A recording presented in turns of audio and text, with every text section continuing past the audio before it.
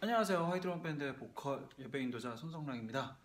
어, 오늘은 지금 여기는요. 제가 저 저희 화이트론 밴드가 섬기고 있는 주차장 교회 본당이고요. 어, 지금 시간은 10시 43분. 뭐 이르다면 이른 시간, 또 늦다면 늦은 시간인데 저는 지금 제 딸 수아를 재우고 어, 이제 제 자유 시간인 새벽 시간에 뭐 가끔 애가 깰 때는 자유가 아니긴 한데 애 아빠들은 작업을 이때 해야 돼요. 네.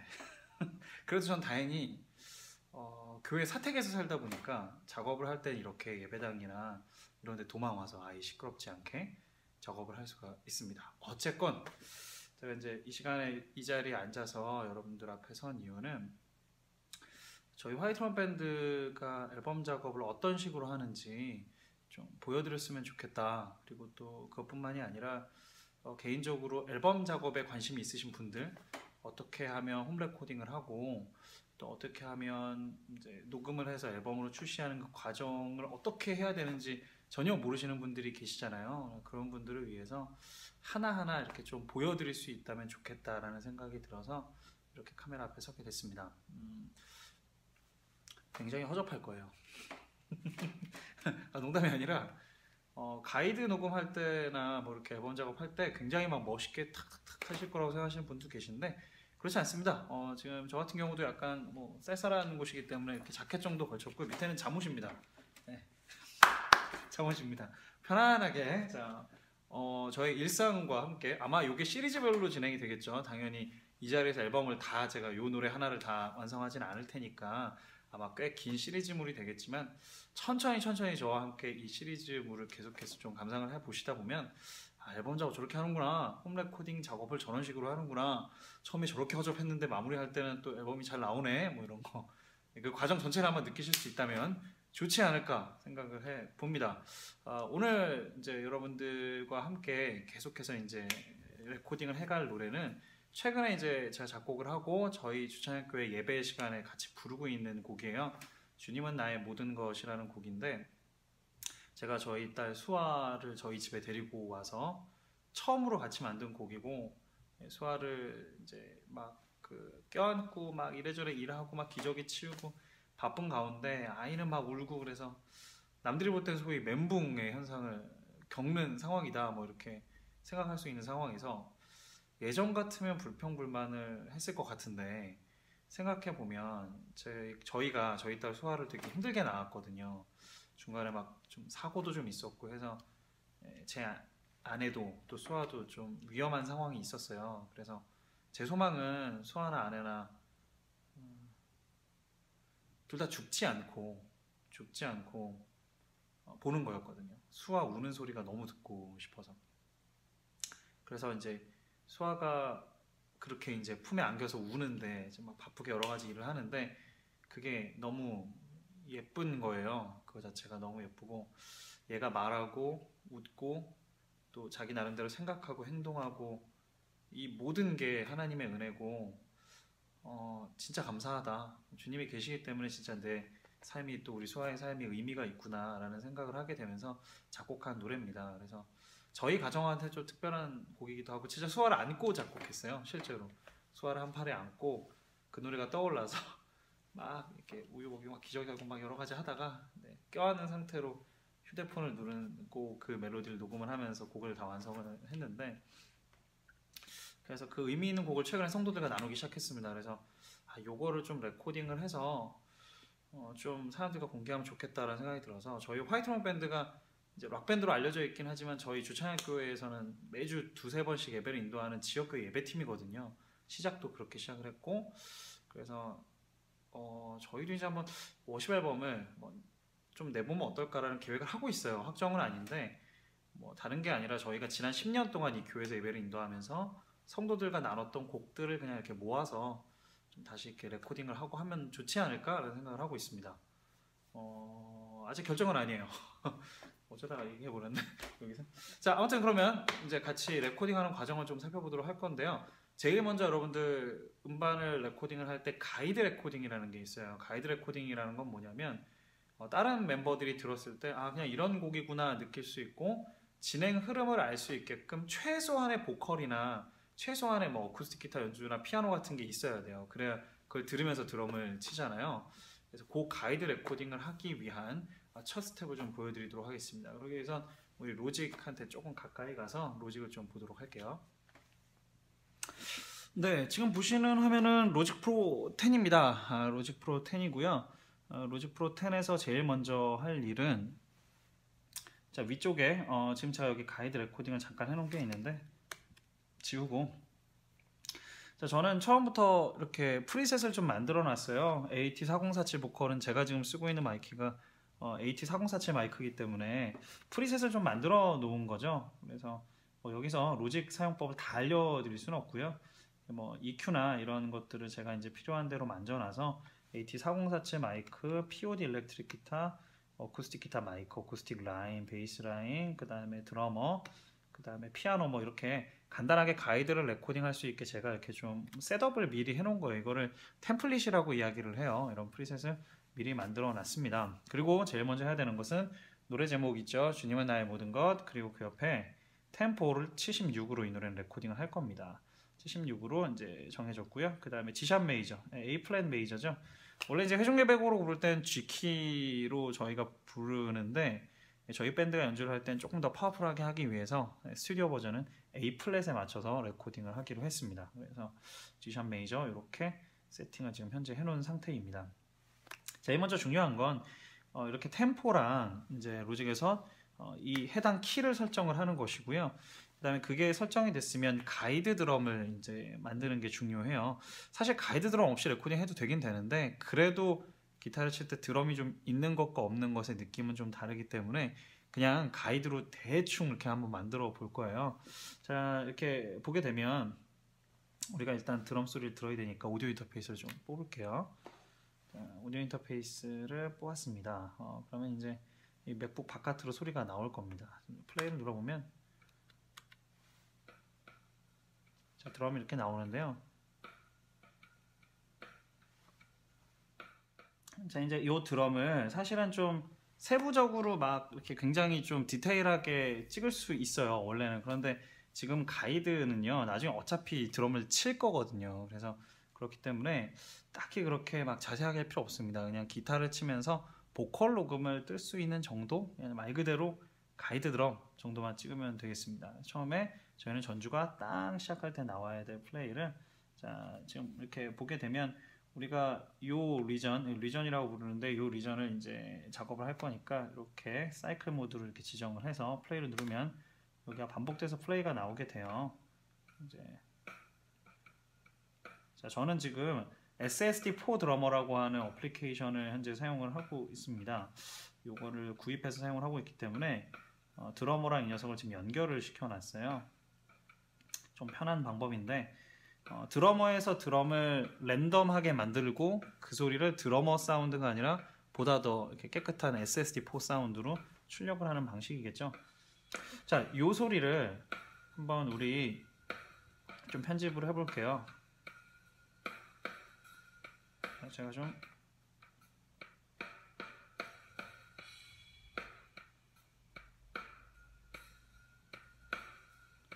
마음에 드는 소리가 좀 나올 때까지 돌려보겠습니다. 막 그렇게 세세하게 짤 필요는 없고요. 지금은 크래쉬를 하이에처럼 이렇게 치고 있는 상황이에요. 저는 이게 좀 괜찮네요. 차라리. 왜냐하면 전주를 저희가 좀 세게 들어가야 돼서 박자가 좀 맞는지 확인을 좀 한번 해볼게요. 어, 자 이렇게 들어가면 처음에 이렇게 들어갔는데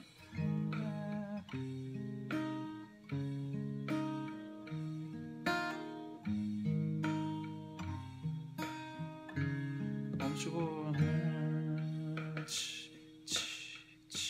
내가 오는 거 이렇게 들어갈 거예요. 그러면 실제로 1절은 여덟 번째 마디부터 들어간다는 걸 알 수가 있습니다. 그러면 자 여기서 얘네들을 이렇게 잘라주면 되겠어요. 자 그러면 여기를 이렇게 없애버리고 사실 이제 여기 드러머 사운드죠. 원래는 드러머 사운드인데 어, 이렇게 복사를 하면 여기 있는 녀석이 밑으로 연결이 돼요. 얘가 바뀌면 얘도 바뀌는 뭐 그런 식으로 연결이 되는 뭐 잔기술입니다. 잔기술. 여기까지 인트로 되겠고요. 어, 인트로 되겠고 그다음에 여기에 fill-in이 이제 들어가는데 fill-in이 네 그냥 뭐 대충 뭐 그냥 한 이 정도만 된다라는 생각으로 한번 가보도록 할게요. 그다음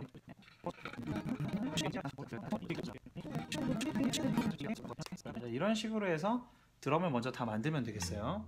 자 이런 식으로 어, 드럼을 지금 제가 그냥 대략 찍어봤어요. 그냥 뭐 사실 복사해서 붙이기 정도인데요. 그냥 뭐 예, 뭐 다른 걸 녹음할 수 있을 정도만 처음엔 뜨면 돼요. 나중에 에디팅이 충분히 가능하니까.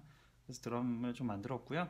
중요한 게 있습니다. 여기서 이제 우리가 어, 타임을 볼 수가 있는데요. 시간을 좀 볼 수가 있어요. 그래서 이 노래가 이제 시작하는 거는 6초 부분부터 시작이 돼서요. 그러니까 6초 빼고 생각을 해보면 프로젝트 끝이 노래가 한 요쯤 끝날 것 같거든요. 느낌이. 클릭을 해봤을 때 4분 18초로 떠 있습니다. 여기서 6초로 빼면 4분 12초 정도 노래의 playing time을 알 수가 있어요. 최종 playing time을 제가 찍은 거를 보면 한 4분 10몇 초? 예, 괜찮은 것 같네요. 너무 노래가 길어질 수 있으니까 항상 이렇게 스튜디오 버전을 만들 때는 playing time을 꼭 확인을 하시면서 드럼을 찍으면서 이 루틴이라고 합니다. 뭐 1절 몇 번 나오고 후렴 몇 번 나오고 뭐 후렴 다음에 뭐 나오고 이런 것들을 예, 타임을 보면서 조금 조정을 하시는 게 좋습니다. 자 이렇게 하면 녹음이 준비가 다 끝나죠. 그러면 이제 오디오 인터페이스를 꽂을 건데 오디오 인터페이스를 꽂았습니다. 어, 제가 사용하고 있는 모델은요 어, Apogee 예, 듀엣 2고요. 어, Apogee Duet 2에 꽂으면 이제 마이스트로 2라고 하는 녀석이 이제 뜨게 되죠. 사실 헤드폰 끼고 녹음해야 되는데 가이드가 귀찮아서 그냥 아이폰에 이어폰을 꽂아서 녹음을 합니다. 그리고 저 두 개 연결했는데요. 하나는 요거 이렇게 지금 마이크 라인 보이시고 55 이제 잭 보이시죠? 55 잭은 지금 제가 녹음을 이제 진행을 할 좀 이따 보여드리겠지만 기타 아웃풋에 꽂았고요. 기타 하나 트랙 하나 따로 받고 그 다음에 이제 마이크 하나 AT4047 마이크 하나에다가 또 연결을 했습니다. 그럼 이제 마이크 1번은 AT4047이 들어오는 거고 2번은 기타가 들어와요. 제일 중요한 건 개인을 처음에 잘 잡아 놓으셔야 돼요. 한번 쳐보겠습니다. 자, 너무 커요 라인이. 자, 한번 4까지. 그다음 마이크 하나 둘 셋. 아 조금 이따 소리를 좀 더 낼 거기 때문에 아, 아,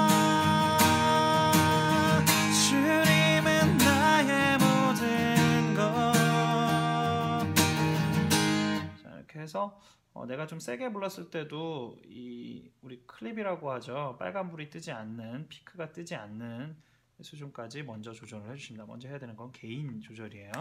자, 그럼 이제 레코딩 준비가 끝났어요. 이 상태에서 가이드 레코딩을 드럼을 들으시면서 노래대로 그냥 대충 가이드를 뜨시면 되겠습니다. 자, 이제 가이드 레코딩을 하시면 되는데요. 어, 보통은 이제 진짜 보컬 녹음을 할 때는 안에 있는 그 우리 이제 메트로놈 소리가 녹음할 때 메트로놈을 듣고 녹음을 하셔야 돼요. 근데 그 메트로놈 소리가 바깥으로 나와서 마이크로 들어갈 수가 있습니다. 그렇기 때문에 메트로놈 소리도 적당하게 조절하셔야 되고 안에 있는 소리가 바깥으로 나오지 않는 어, 헤드폰 같은 것들을 착용을 하셔야 되는데 뭐 가이드라서 처음에는 그냥 좀 귀찮으니까 대충 이렇게 그냥 이어폰 아무거나 연결하시면 되고요.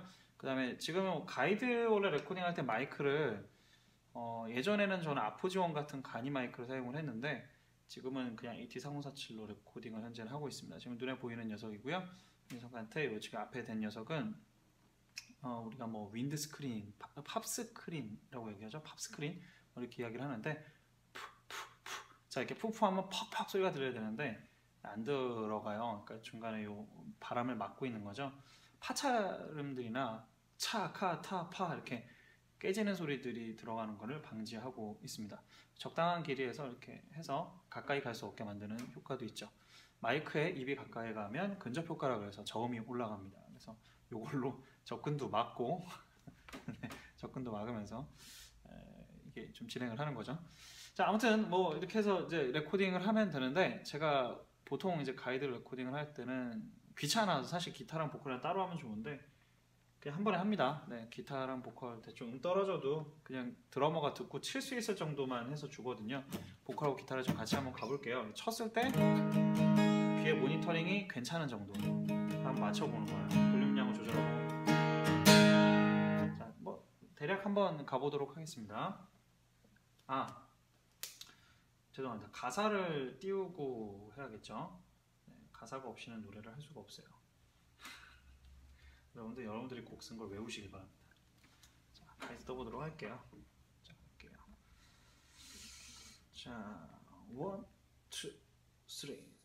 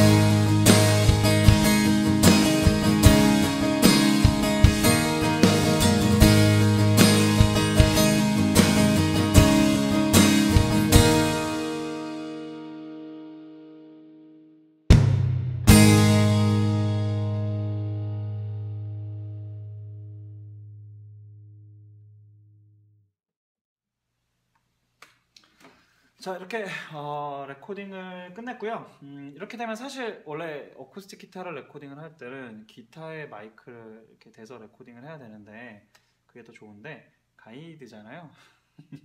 그냥 지금 보면 연주할 때 틀린 것도 있었고요 코드가. 어, 저 그냥 보통 갑니다 이렇게 에, 좀 허접해도 이렇게 하고요. 이제 드러머가 이거 들으면서 이제 드럼 레코딩을 할 거예요 다음 편에서 드럼 레코딩이 끝나고 나면 베이스 레코딩을 할 거고 이 위에 그냥 합니다. 일렉 기타도 하고요. 그 다음에 이제 통기타 레코딩을 할 때 제대로 전부 다 이렇게 마이크 대고 하게 됩니다.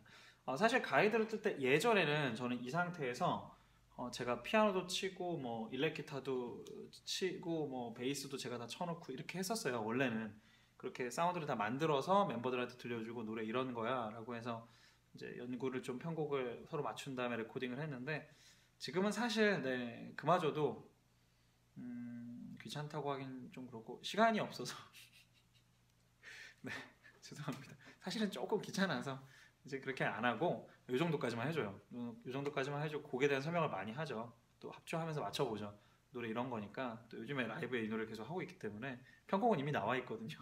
멤버들이랑 이렇게 이렇게 레코딩 하자라고 얘기를 해서 요 파일만 이제 줍니다. 그러니까 연습을 해온 다음에 여기다가 이제 다음에 다음 편에는 드럼을 레코딩하는 장면을 좀 보여드릴게요. 그러니까 가이드가 이까지예요. 가이드가 요까지고 원래는 이제 막 일렉기타 이런 거 레코딩 해야 되는데 하지 않고요. 어, 가이드 요 정도까지만 하고 다음에부터 드럼부터 이제 실전 레코딩이죠. 드럼 레코딩하고 베이스 레코딩하고 일렉 기타 레코딩하고 어쿠스틱 기타 레코딩하고 그다음에 보컬 하고 이렇게 하면 다 끝납니다. 그래서 이걸로 이제 쭉 앞으로 계속해서 좀 봐주시면 아 저런 식으로 앨범 레코딩 하는구나, 홈 레코딩 하는구나 뭐 이런 걸 깨달으실 수 있을 겁니다. 자 오늘은 가이드 편이었고요. 다음에 어, 드럼 레코딩 시간에 다시 찾아뵙도록 하겠습니다. 감사합니다.